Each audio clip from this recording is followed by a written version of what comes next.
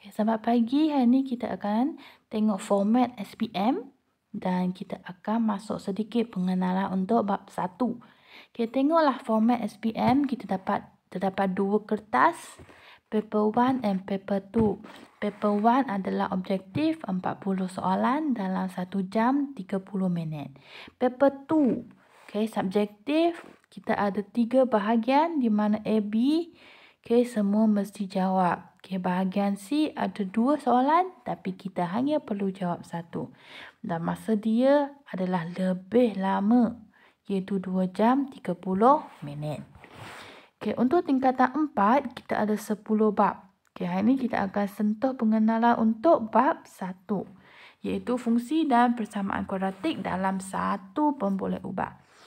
Jadi, kita ada empat perkara yang akan belajar pada hari ini. Yang pertama, apakah ungkapan kuadratik? Ada salah typing di sana ya. Okay, ungkapan kuadratik yang kita fokus sebenarnya dalam satu pemboleh ubah sahaja iaitu satu jenis simbol sahaja. Okay, ialah ungkapan yang mempunyai kuasa tertinggi simbolnya atau pemboleh ubahnya ialah dua. Okay, bentuk am dia mesti AX kuasa 2 tambah BX tambah C. Dengan keadaan ABC ialah pemalar ataupun nombor. Dan A pastinya bukan kosong. Dan X adalah pemboleh ubah yang kita guna. Dan pemboleh ubah yang kita guna dalam perbincangan ini hanyalah satu jenis. Okay, dan kuasa tertinggi dia adalah dua. Okay, serta tidak boleh dalam bentuk um, nombor nisbah. Tak boleh pecahan, tak boleh perpuluhan, tak boleh nombor negatif. Okey. Okay. Kita tengok sini ada enam contoh. Tentukan sama ada dia ungkapan kuadratik dalam satu pemboleh ubah atau bukan. Jika bukan, berikan justifikasi anda. Kita tengok A. Pemboleh ubah kita ialah X. Okay, satu jenis saja. Kuasa tertinggi dia adalah dua. Dan dua ini Okay, bukan uh, nombor nisbah. Jadi, ya, A adalah ungkapan kuadratik. Kita tengok B. Cuba tengok jenis pemboleh ubah dia. Dia guna X. Kuasa tertinggi dia adalah tak, tiga. Tiga bukan. Kuasa tertinggi hanya dua sahaja. Jadi, dia bukan ungkapan kuadratik. Kita tengok C. Okay, apakah pemboleh ubah yang digunakan? Ada dua, X dan Y. Okay, jadi di sini dia sudah salah. Dia bukan satu ungkapan kuadratik. Kalau nak dua-dua X atau dua-dua Y. Tapi kalau satu X, satu Y, bukan ungkapan kuadratik. Okay, D. Pemboleh ubah yang digunakan ialah M. Ia betul. Kuasa tertinggi, dua. Ia betul. Okay, kita tengok E. Okay, kita dapat dua uh, X kuasa 2. Tetapi sebenarnya okay, kuasa tertinggi satu sudah betul. Tetapi yang satu lagi bukan nombor bulat. Dia nombor nisbah. Nombor negatif. Jadi di sini dia bukan ungkapan kuadratik. F. Okay. Yang X kuasa 2 sudah betul. Tetapi satu lagi.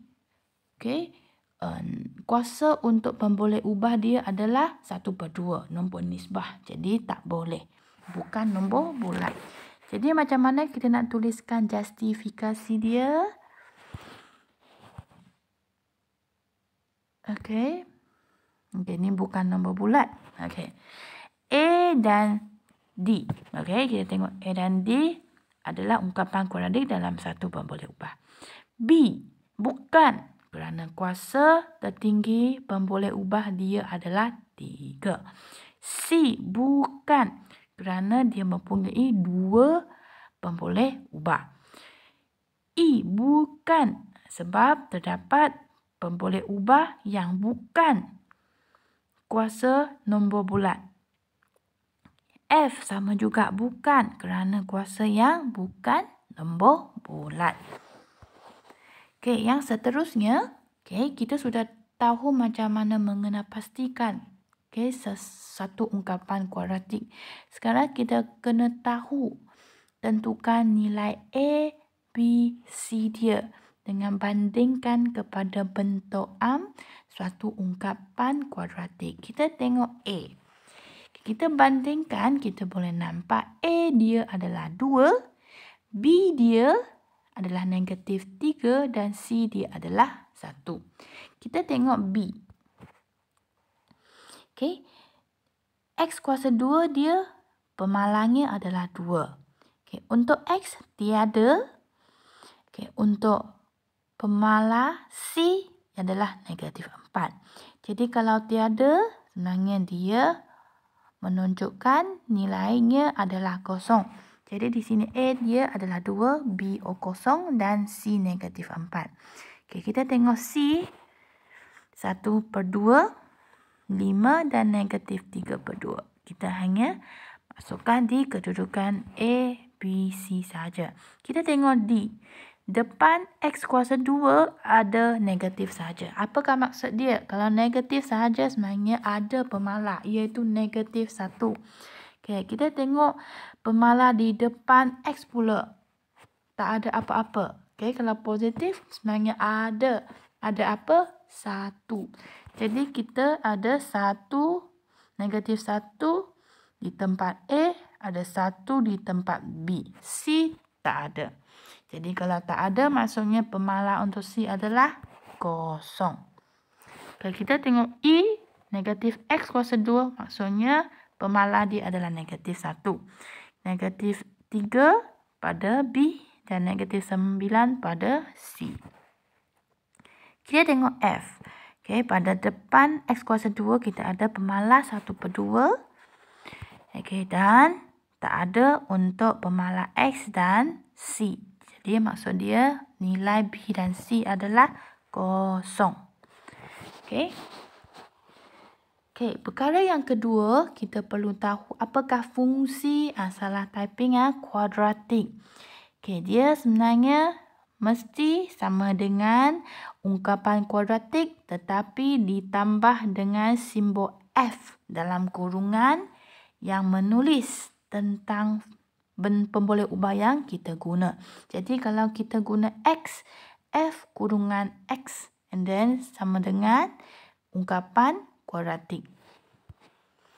Okey, sekarang kita imbas kembali. Kita ada empat jenis fungsi.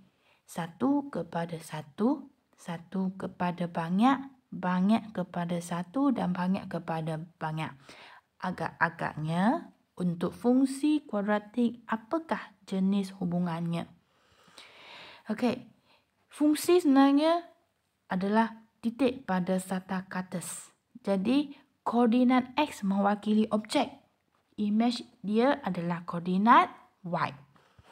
Okey, cuba tengok satu contoh fungsi kuadratik.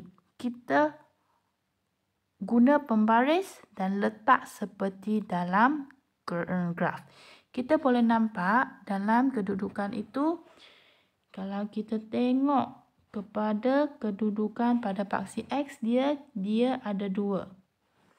Okey, tetapi kalau kita tengok pada kedudukan pada paksi Y dia hanya satu.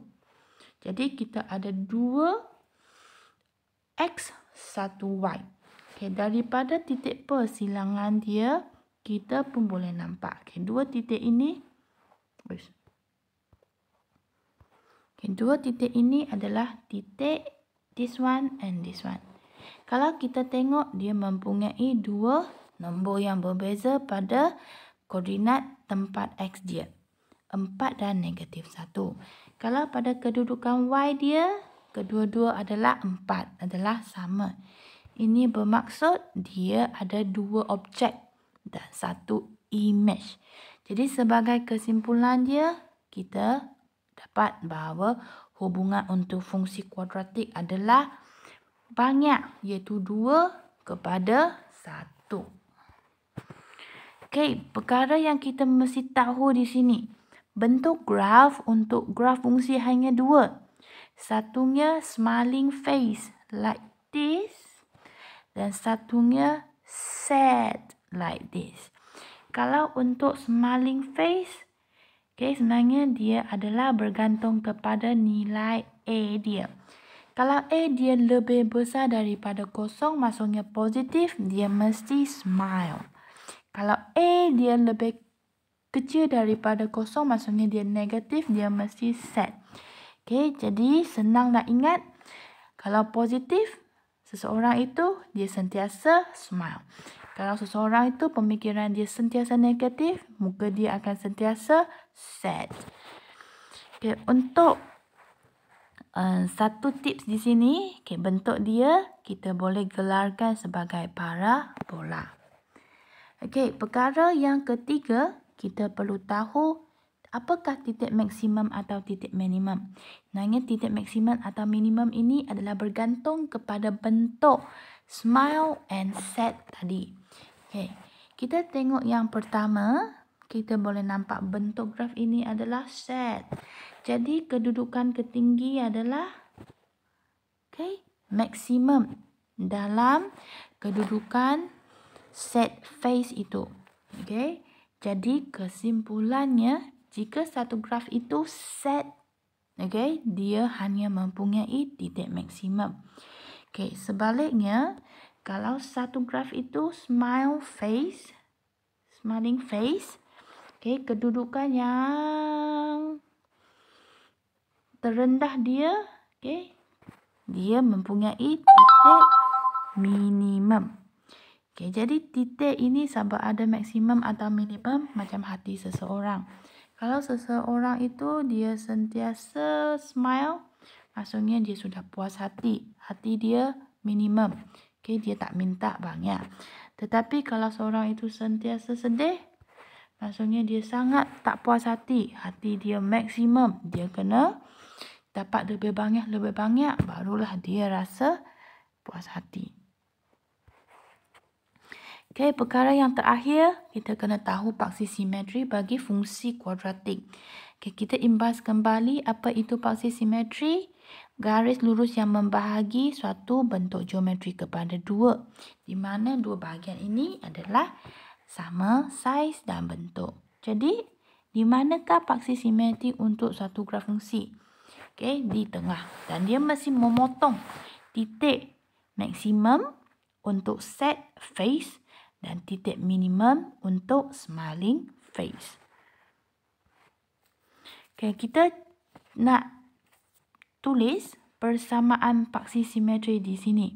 Jadi macam mana nak tulis? Dia mesti selari dengan paksi Y dan memotong pada titik sama ada maksimum atau minimum. Okay, kita tengok A.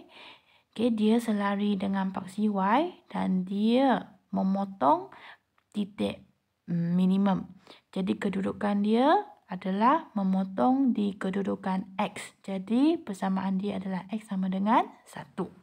Okay, kita tengok B.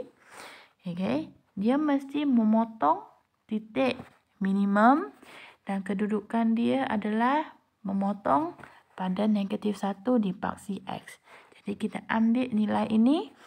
Okay, X sama dengan negatif 1. Okay, kita tengok C pula. Dia mesti memotong pada titik maksimum dia. Okay, kita ambil kedudukan pada paksi X. Dia potong pada kedudukan 1. Jadi persamaan dia adalah X sama dengan 1. Okay, jadi sekali lagi kita buat paksi simetri bagi suatu fungsi kuadratik. Okay, definisi dia adalah selari dengan paksi Y dan mesti melalui titik sama ada maksimum atau minimum. Okay, jadi hari ini kita sudah masuk okay, pengenalan. Kita belajar empat ungkapan kuadratik, fungsi kuadratik, titik maksimum atau minimum dan paksi simetri untuk suatu fungsi kuadratik. Jadi kerja rumah, okay, jawab sahaja empat soalan ini Okay, dan saya akan tunjukkan uh, jawapan dia pada satu video yang lain. Okay, itu saja. Terima kasih.